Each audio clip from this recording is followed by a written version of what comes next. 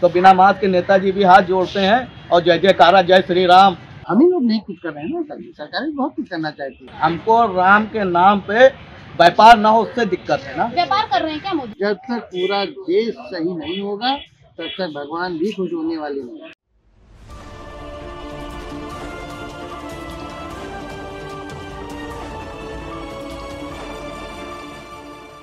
आप देख रहे हैं डेली इनसाइडर और मैं हूँ आपके साथ श्रुतिश दोस्तों 2022 विधानसभा चुनाव की तारीखों का ऐलान हो चुका है। इस बीच आचार संहिता भी लग गई है। आचार संहिता लगने से पहले तमाम राजनीतिक दल अपना प्रचार प्रसार करने में लगे हुए थे। लेकिन अब आचार संहिता लगने के बाद प्रचार प्रसार पर रोक लगा दी गई प्रचार प्रसार पर रोक लगने के बाद सियासी हलचल भी तेज हो गया है। इस पर जनता की क्या राय है? जनता किसको अपना प्रतिनिधि चुनना चाहती है? आइए हम लोगों से ही जानते हैं। आइए साथ क्या नाम है आपका?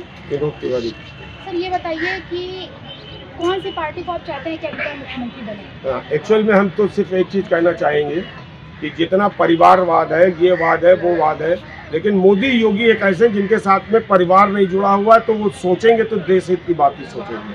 इसलिए वो देश ही उनका परिवार आप कैसे कह सकते हैं कि जो परिवारवाद है तो वो परि, जिसका परिवार होगा वो देश हित के बारे में नहीं सोचते है इसलिए क्योंकि सबसे पहले जो लोग पैसा पैदा करते हैं अपने बच्चे के लिए अपने लड़के के लिए। न मोदी के कोई बच्चा है न योगी को कोई बच्चा है। इसलिए वो जब सोचेंगे तब देश हित का बच्चा सोचेंगे क्योंकि देश की जनता ही उनके बच्चों की समान है। सर आप किसको चाहते हैं? मुख्य योगी योगी जी को ही चाहते हैं कि मुख्यमंत्री हाँ, मैं तो यही चाहूँगा कि देश में प्रदेश में मोदी जी हो और देश के अंदर योगी मोदी हो। क्या नाम है आपका? मेरा नाम शिबू है। सर ये बताइए कि अगला मुख्यमंत्री आप किसको देखना चाहते हैं? हम उसको देखना चाहते हैं जो बेरोजगारी मिटाए जो जो है जनता के ऊपर ध्यान दे और मुफ़्त के ऊपर जनता को वो ना करे। मुफ़्त पे जनता जो है को भीख नहीं मंगाना है जनता को एक्सेप्ट बनाना है। उसको कामयाबी चाहिए नौकरी चाहिए। तो योगी जी तो बहुत सारी नौकरी निकाल रहे हैं। उस पर क्या कहना चाहेंगे? निकाल रहे हैं ना तो इंटरव्यू ना हो रहा है ना कुछ निकलने से नहीं कुछ होता है हमको मिले। सर ये बताइए कि आप क्या काम क्या करते हैं? पहले तो ये बताइए। हाँ, हम हम हैंड वर्क करते हैं काम। व्यापारी सर व्यापारी को कितना नुकसान हुआ है जीएसटी लगने के बाद? अभी जो कोरोना आया है उसमें क्या क्या नुकसान हुआ? आप आप ये समझिए कि काम थोड़ा सा चला था।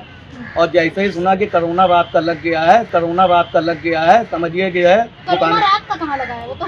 मतलब लॉकडाउन रात में लगा दिया गया है। उसके बाद ये हो गया स्थिति कि दुकानदार बैठा रहता है कस्टमर दुकान पे नहीं आ रहा है वो सोच रहा कल क्या हो? जैसे झेल चुके हैं कल क्या हो? बार की स्थिति इतनी बुरी थी इतनी भयावह थी एक एक एक बेड पर दो दो तीन तीन मरीजों का इलाज हो रहा था। इस बार लॉकडाउन नहीं लगा है अब तक अब दे- इसको कुछ भी कह सकते हैं इलेक्शन की वजह से या फिर जो भी रहा। हाँ। अगर ऐसी स्थिति फिर आ जाती है। हम्म। तो आप उस पर क्या कहना चाहते हैं कि लॉकडाउन लगना चाहिए या नहीं लगना चाहिए? ये लॉकडाउन लगना चाहिए तो उसका जो है पालन होना चाहिए। लॉकडाउन लगा है अभी कोई नेता की रैली होती है तो उसमें कोई लॉकडाउन का पालन नहीं दिखता है। जनता के लिए लॉकडाउन है। जनता कहीं पे चार आदमी खड़े हैं तो हमको जो है कानून समझाया जाता है। और कहीं पे नेताजी आते हैं तो बिना मास्क के नेताजी भी हाथ जोड़ते हैं और जय जयकारा जय श्री राम तो बिना मास्क के नेताजी भी हाथ जोड़ते हैं और जय जयकारा जय श्री राम जय श्री राम से क्या दिक्कत है भाई आपको? हमको जय श्री राम से नहीं दिक्कत है। हमको राम के नाम पे व्यापार ना हो उससे दिक्कत है ना। व्यापार कर रहे हैं क्या मोदी नहीं मोदी जी को मैं किसी को कह ही नहीं रहा हूँ। देश के लिए काम कर रहे तो सरकार तो नहीं चल रही है। सरकार चल रही है। सरकार चल रही है। सरकार जनता को अपने कार्यकर्ता को समझाए कि इसके अलावा भी और काम है। समर्थन करते हैं आप हमें इतना बताइए। हम समर्थन करते हैं जो सही काम करें। सही काम कौन कर रहा है? योगी जी भी तो कर रहा है। योगी जी ने जो अपने कार्यकाल में किया है सही गलत का फैसला तो हम जनता करेगी ना। सही किया होगा तो जनता करेगी। जनता क्या कह रही है? जनता का क्या मूड है? क्योंकि आप भी जनता में शामिल हैं जनता क्या चाहती है? किसको लाना चाहती है?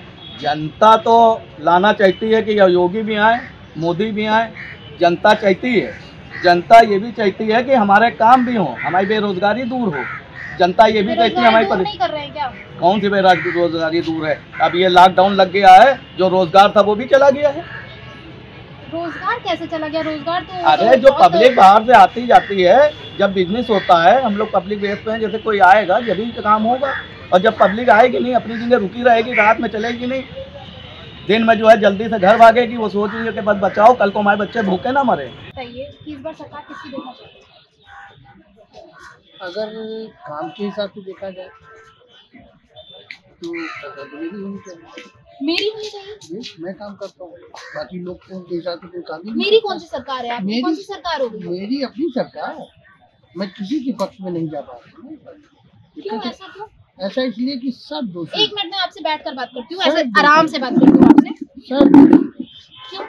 सब दोषी है इसलिए कि सबको तो खुश भगवान नहीं कर पा रहे हैं नेता लोग भी खुश नहीं कर पा रहे हैं शायद इसीलिए और लोगों का सोचना सिर्फ़ अपने फ़ायदे के लिए। मेरी तो पार्टी हाँ मेरी मेरी पार्टी थी मेरी वो थी मेरी ये थी लोग करते रहते हैं।